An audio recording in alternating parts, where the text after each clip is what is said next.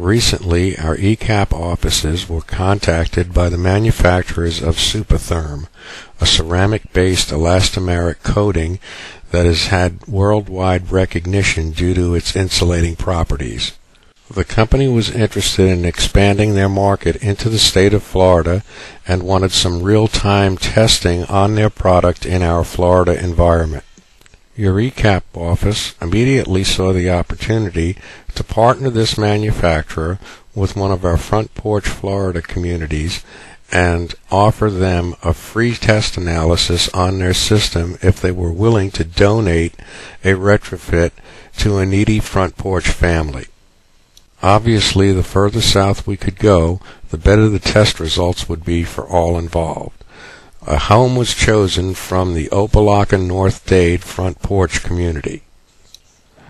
To facilitate the test, half of the home's roof surface was coated with the Super Therm product. The other half was left in its natural state. Various recording devices and temperature probes were affixed to the outside roof surfaces, inside roof surfaces, attic areas, and living space inside the home, all air conditioning and heating equipment was turned off during the test period.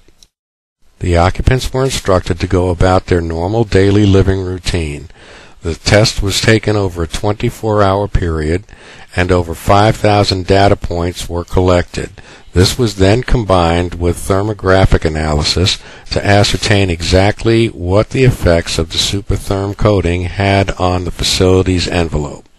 As an example, this is a thermal image of the heat transfer taking place inside the attic on the unprotected area of the roof. Blue indicates cooler temperatures while red and white indicate the hottest areas. This next thermal image shows the drastic reduction in heat transfer on the side of the roof coated with the Super Therm product. All of the data clearly indicated that the side of the roof treated with the Super Therm product had a load reduction of approximately 22%. This reduction was transferred down into the living area where the room temperatures were 2.3 degrees cooler.